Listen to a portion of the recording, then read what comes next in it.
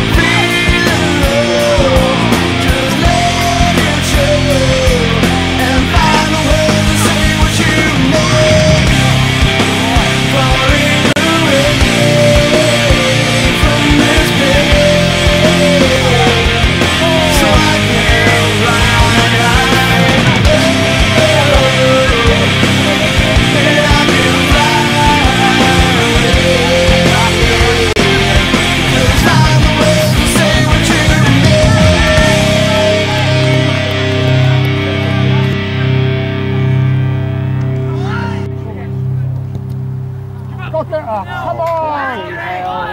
Come on.